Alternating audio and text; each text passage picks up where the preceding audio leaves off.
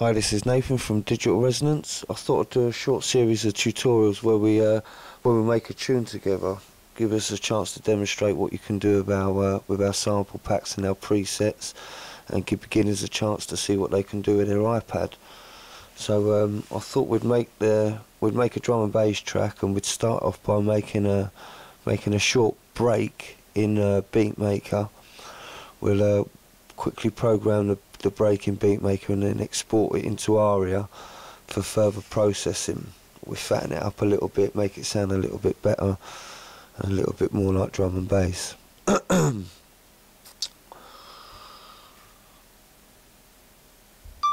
so, I thought we'd start the tutorial by simply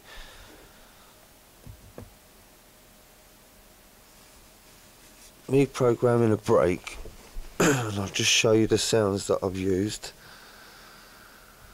I loaded up one drum machine in Beatmaker. Loaded up two kicks. Nothing special. Couple of snares. Quite quite bright snares. And uh, and five hats. So in drum machine number two I loaded up the famous Amen break it's always a handy break to use. You can um, achieve quite a lot quite a lot with it. Anyway for this tutorial we're just going to make a really short break get it ready for processing in Auria and um, I'll show you how you can do that. So I'll start by actually playing you the break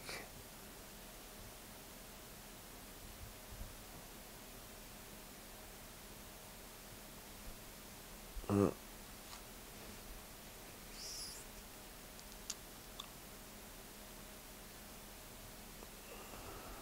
it's a little bit dull on the screen. I'll try and sort that out as we go on in other tutorials. I'm actually using my iPhone 4 at the moment, so it's not that great. I couldn't get the reflection app working properly, and I don't own Apple TV, so this will have to do for the moment, I'm afraid. Anyway, I'll play the first bar.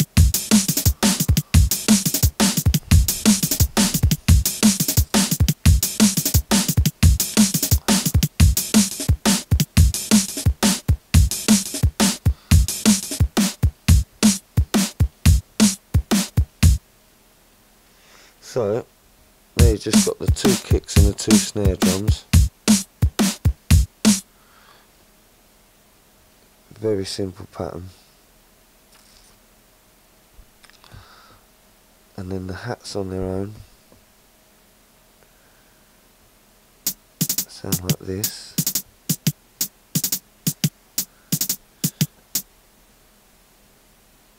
now because the hats are all, are all slightly different that's why they got that little groove to them. Now I'm going to go into that into more detail in another tutorial about how to sort your hats and how to get them to shake along and all the rest of it. But for now just keep this brief.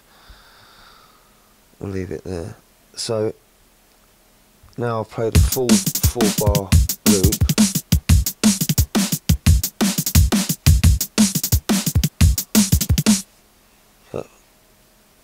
so it's not too bad as you can hear at the moment. And now I'll play the element.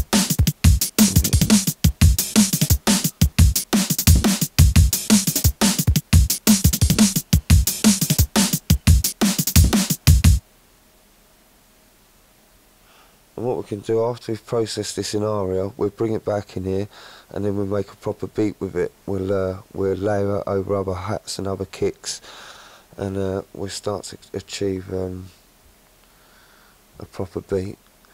But for now to record it we need to be able to export those different sounds individually. So I need to create a few effects buses. I think three I do.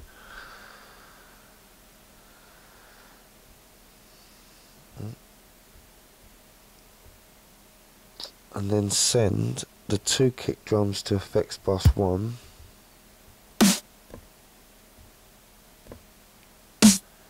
and the snares to effects bus number 2 and the hats to number 3.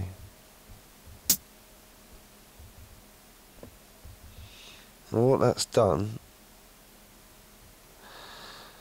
I created three effects buses and now the kicks will be coming out of this one, the snares out of that one and the hats out of that one.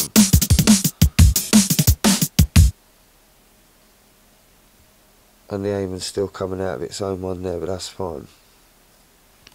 Um, but anyway, so yeah, this is done so I can export the two kicks, the two snares and, and all the hats together back into Auria and then process it as stems and then back into into here.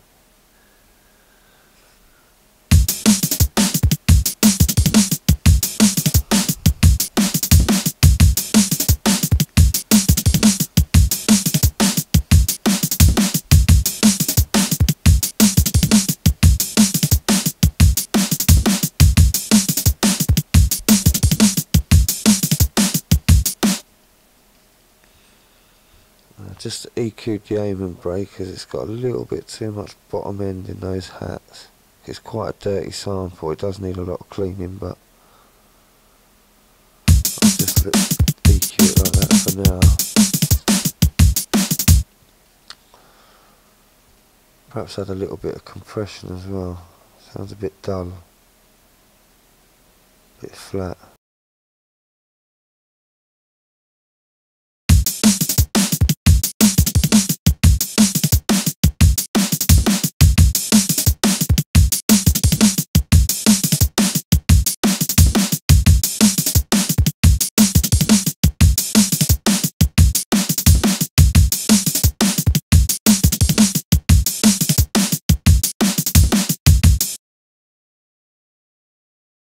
That's not too bad. And like I said, not going into too much detail because this is literally just a break that's going to get processed elsewhere and then pulled back in. So that's probably it for that now. What we can do is actually I think it'd be a good idea to put some hats in as we don't have any hats that are shaking along as well shaker in fact not really hats. Um, I'll create another drum machine for that. Empty preset. Now I'm going to browse to the biohazard pack.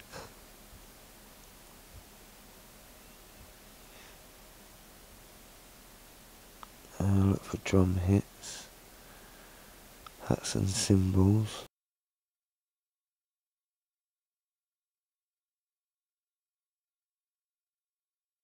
think we've got tambourine. Yeah, I'll use the tambourine to start with.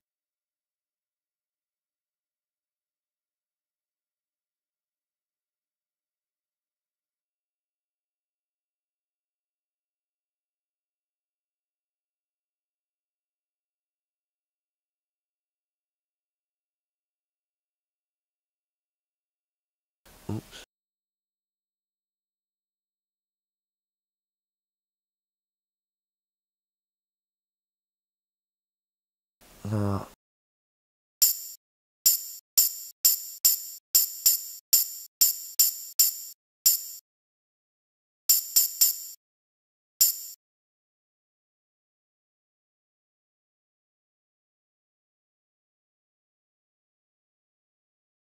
Now to leave like that would sound awful so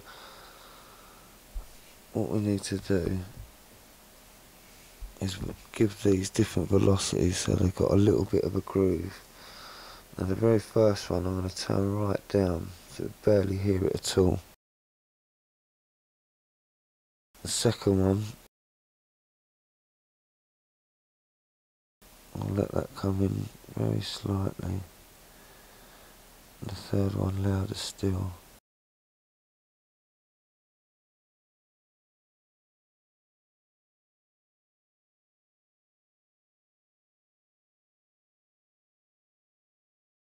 think I'll just repeat that pattern there for a minute.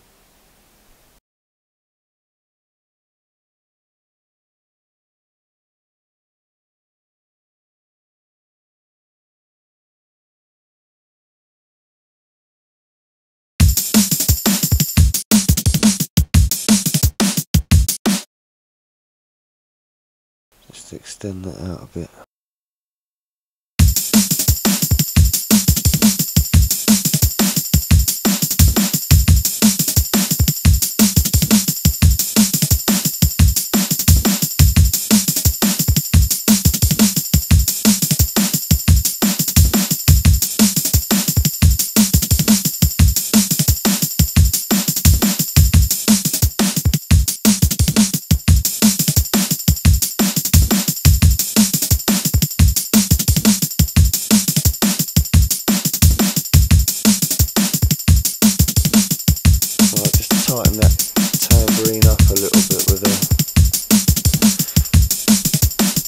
The envelope that it's got.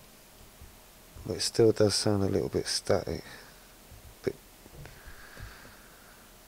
so what I'll do again. Edit these a little bit more.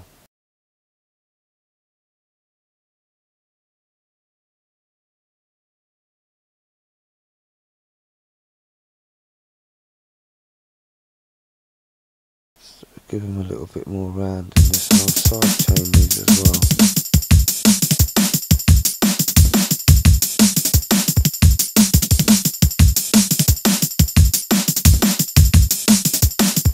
I'm just going to use the kicks for that. I'm only going to do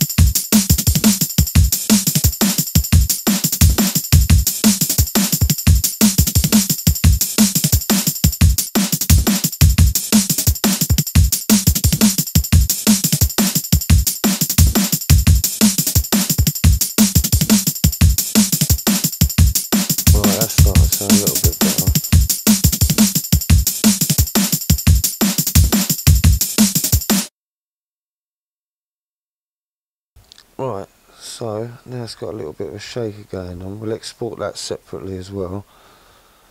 Uh, we'll definitely be side chaining that a little bit more in Auria. And I'll probably have to layer that up with a few other shakers doing a similar thing as well, I would imagine. But for now, that that's not too bad. Now, just for the sake of it, I'll load up a preset from one of our sample, uh, I mean preset packs, just play along.